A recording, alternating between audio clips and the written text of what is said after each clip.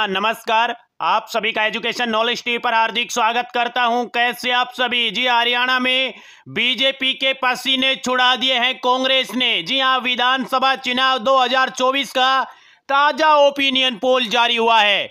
आपको बताएँगे ज़िले वाइज सीट वाइज किसको सीट दी जा रही है? आम लोगों के द्वारा जनता किसको इस बार विधानसभा में भेजने जा रही है? ये आपको बताएँगे। पूरा ताज़ा आँखों देखा हाल आपके साथ शेयर करेंगे। आपको बता दें छियालीस का जादुई जो आंकड़ा है, जो भी पार्टी पार करेगी, वही इस बार सत्ता में आएगी। आप सभी जानते हो और आपको बता दें 2019 में बीजेपी जो है वो जननायक जनता पार्टी के साथ मिलकर के अपनी सरकार बनाई थी और जननायक जनता पार्टी की 10 सीटें थी। इस बार जननायक जनता पार्टी को कितनी सीटें दी जा रही है ये आप जानेंगे। वहीं आम आदमी पार्टी जो है वो पहली बार सभी 90 सीटों पर चुनाव लड़ रही है। उनको कितनी सीटें मिलेगी? और दू, दूसरी बात करें जो पुरानी पार्टी है हरियाणा की इंडियन नेशनल लोकदल उसको कितनी सीटें मिलने का अनुमान है? क्या वो सत्ता से बेदखल कर दी गई है? देखिएगा भाई। ये आपको बता दें, हरियाणा में जो अंबाला जिला है अंबाला जिला का ताज़ा सर्वे आपकी स्क्रीन पर। आपको बता दें, चार विधानसभा सीटें हैं अंबाला में और चार विधानसभा सीटों में से बीजेपी सबसे ज़्यादा।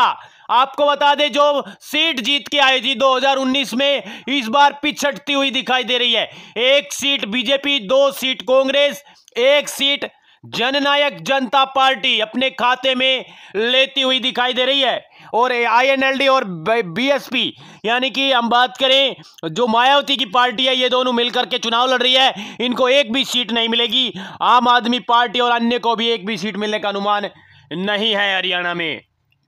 बात करेंगे अगले ज़िले मेवात की जी हाँ नूह की। नूह में तीन सीटें हैं। तीन की तीन सीटें कांग्रेस के खाते में जाती हुई दिखाई दे रही है। आपको बता दें, कांग्रेस जो है, वो बढ़त बनाए हुए हैं हरियाणा में। कांग्रेस को तीन सीटें मिलने का अनुमान है यहाँ पे मेवात ज़िले से। बात करेंगे गुड़गांव की।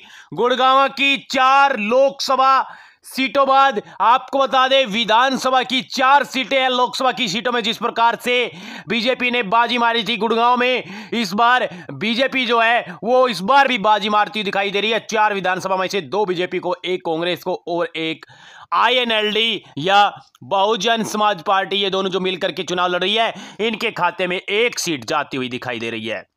बात करेंगे भिवानी की। जी हाँ भिवानी में आठ आठ में से अब कांग्रेस पहुँच चुकी है। आपको बता दें, अब भिवानी चार विधानसभा में से दो बीजेपी और दो कांग्रेस के खाते में सीट जाती हुई दिखाई दे रही है भिवानी विधानसभा से। फरीदाबाद की बात करेंगे, छह विधानसभा की सीटें हैं। कांग्रेस को दो, तीन यहाँ पे बीजेपी के खाते में, वही एक आईएनएलडी के खाते में जाती हुई दिखाई दे रही है। फरीदाबाद से वही जननायक जनता पार्टी का खाता नहीं खुलेगा। आम आदमी पार्टी को भी एक सीट भी नहीं मिलेगी। बात करेंगे जींद की पाँच विधानसभा सीटों में से जींद में। जी हाँ, ताबड़तोड़ ताबड़तोड़ जींद में से तीन कांग्रेस जीतने जा रही है। तीन कांग्रेस और एक बीजेपी के खाते में सीट जाएगी और एक सीट जाएगी बहुजन समाज पार्टी और आईएनएलडी के खाते में। यानी कि भाई आईएनएलडी जो है, वो भी एक सीट जीतती हुई दिखाई दे रही है। बात करेंगे महेंद्रगढ़ की। महेंद्रगढ़ में टक्कर है भाई। जी हाँ राव दान सिंह। अब एक बार फिर से जीतते हुए नज़र आ रहे हैं महेंद्रगढ़ की चार विधानसभा सीटों में से। दो कांग्रेस और दो बीजेपी के खाते में जाती हुई दिखाई दे रही है। बीजेपी को यहाँ पे बाहरी नुकसान, यानी कि हम बात करें दो ही सीटों पर संतोष करना पड़ेगा। बात करेंगे मेवात की, उसके बाद करनाल की।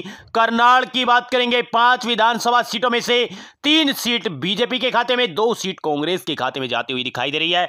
और करनाल से आपको बता दें, करनाल जो है, वो डिस्ट्रिक्ट है जहाँ पर पूर्व मुख्यमंत्री खट्टर का दबदबा रहा है, लेकिन यहाँ पे अभी भी दबदबा जो है, वो बरकरार है। बात करेंगे रेवाड़ी की। रेवाड़ी की सीट है तीन। तीन सीटों में से दो सीट कांग्रेस और एक सीट बीजेपी के खाते में जाती हुई दिखाई दे रही है। रेवाड़ी विधानसभा से और आपको बता दें, रेवाड़ी में जो एक इकलौती सीट है, बावल की बावल की जो सीट है, उसमें बीजेपी को बढ़त मिलती हुई दिखाई दे रही है और यहाँ पे रेवाड़ी की और दो सीटें हैं। यहाँ पर कांग्रेस जीती हुई दिखाई दे रही है। बात करेंगे पंचकुला की, दो सीटें पंचकुला में और दो की दो सीटें एक कांग्रेस और एक बीजेपी के खाते में जाती हुई दिखाई दे रही है पंचकुला विधानसभा से। बात करेंगे अगले ज़िले। जी हाँ हिसार की सात सीटें हैं। हिसार में सात सीटों में से अब कांग्रेस को पाँच सीट, सबसे ज़्यादा सीट कांग्रेस को मिलती हुई दिखाई दे रही है। और हिसार में भैया जननायक जनता पार्टी, दुष्यंत सिंह चौटाला खुद चुनाव लड़ रहे हैं, लेकिन यहाँ पे एक भी सीट यहाँ पे दुष्यंत सिंह चौटाला की पार्टी को मिलती हुई नज़र नहीं आ रही है। दो सीटें यहाँ पे बीजेपी निकालेगी। पाँच सीटें कांग्रेस अपने खाते में निकालने का यहाँ पे दमखम रख रही है भाई बात करेंगे रोहतक की। रोहतक में जी हाँ चार सीटें हैं। चार सीटों में से तीन सीट कांग्रेस के खाते में जाती हुई दिखाई दे रही है। वही हम बात करेंगे, एक सीट जो है वो बीजेपी अपने खाते में लेके आएगी। बात करेंगे अगले ज़िले पानीपत की। जी हाँ पानीपत में चार सीटों में से दो दो का जो आंकड़ा है, दो बीजेपी और दो कांग्रेस के खाते में जाती हुई दिखाई दे रही है।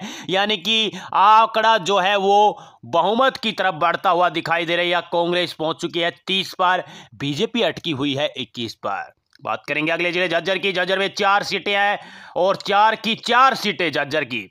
जी हाँ ध्यान दें, जर्जर की चार की चार सीटें कांग्रेस के खाते में जाती हुई दिखाई दे रही यानी कि यहाँ पे बीजेपी, जननायक जनता पार्टी, बीएसपी और आम आदमी पार्टी सभी का क्लीन शिप किया है और कांग्रेस चार की चार सीटें जीती हुई दिखाई दे रही है।